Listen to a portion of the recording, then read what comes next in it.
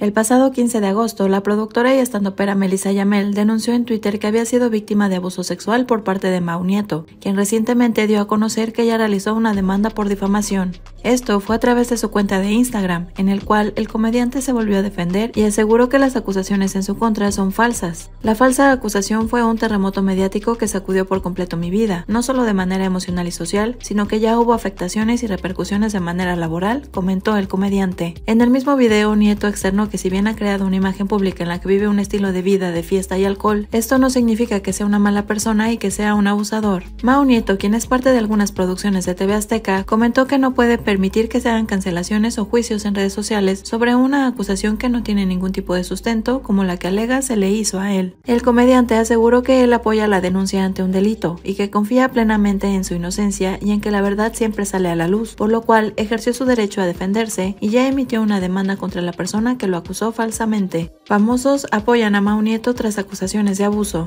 En el video, diferentes famosos mostraron su apoyo al comediante, externándole que creen en su versión de los hechos, como Tania Rincón, quien le